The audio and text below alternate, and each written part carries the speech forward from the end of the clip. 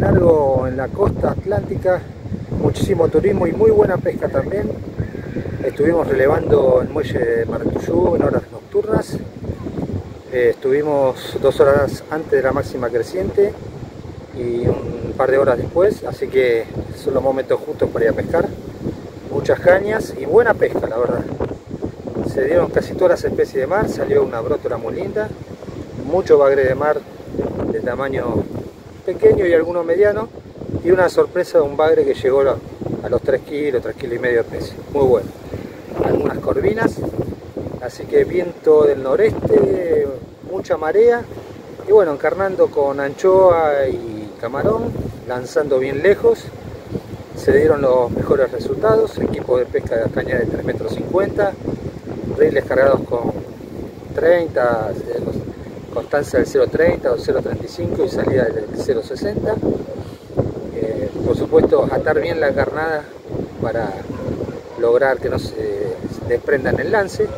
Y bueno, una linda pesca ya de cara a lo que se viene, que es para mí los mejores meses para la pesca de variada de mar, octubre, noviembre y diciembre. Y bueno, ya después ya para la gente que piensa en, las vacaciones, este, sabemos que lo que es la costa atlántica es muy visitada también este, estuvimos filmando un poco en San Bernardo, muchísima gente, así que en las playas disfrutando de estos primeros calores en la primavera argentina. Así que esperamos que les agrade este material y bueno, refrescar un poco lo que es el mar argentino y la, digamos, la variedad y calidad de especies que tenemos para pescar aquí en la costa atlántica.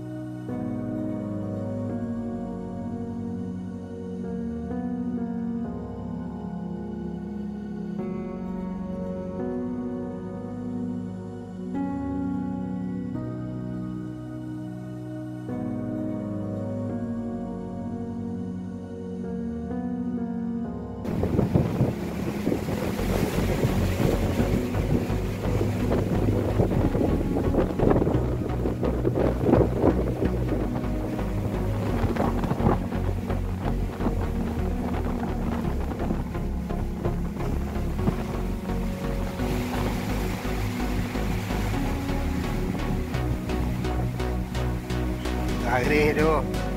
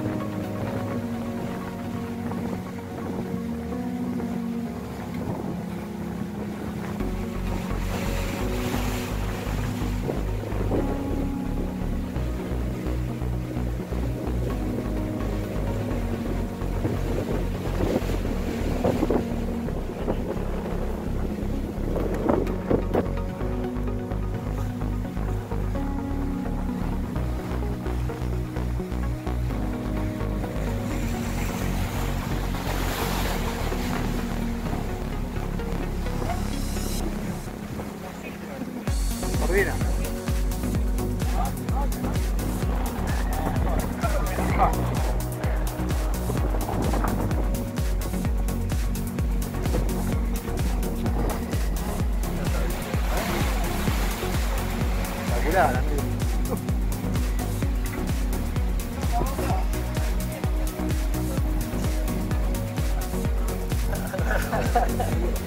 Pensé que era el gallego que sacó la corvina, boludo. Imagino que esa tampoco la va a tirar, ¿no? No, esta no. Estaba la parrilla. Pensé que era el gallego, boludo.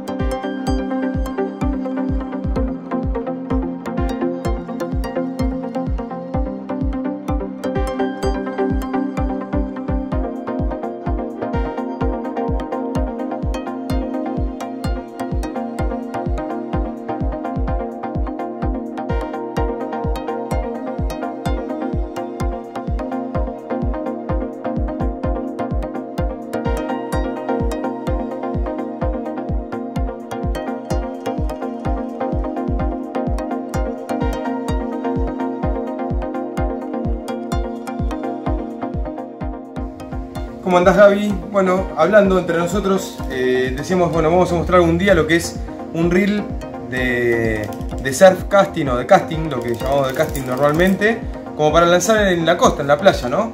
Que bueno, ya se viene la época, que es muy importante.